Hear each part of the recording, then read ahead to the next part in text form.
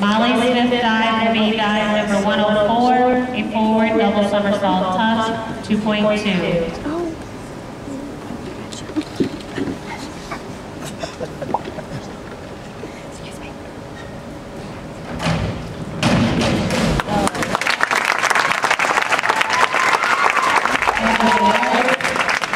Five, five,